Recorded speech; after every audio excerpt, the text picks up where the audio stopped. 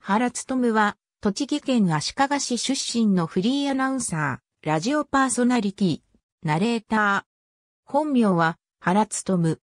栃木県立足利高等学校を経て、明治大学卒業後、出版社を経て、フリーアナウンサーになる。デビューのきっかけは、ショップチャンネルのキャスターとしての出演。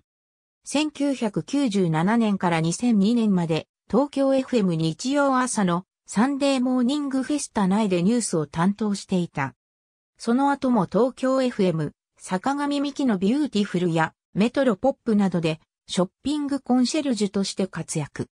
その他、東京アップデート、東京 FM スポーツ、JFN ニュースも担当している。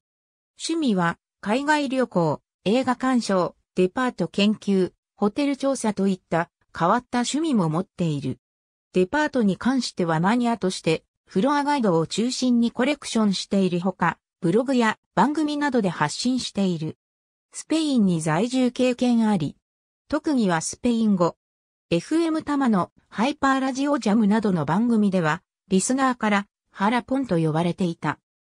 三井ダイレクト、ソニー損保、東京電力、栃木日産、コープ神奈川、QVC 冬はお任せ、東京 FM 各種スポットなど、宮崎大輔ハンドボール入門 DVD、ナレーション、ココリコ田中直樹、ペルソネル活動出演、モバホー、ニュースなど。ありがとうございます。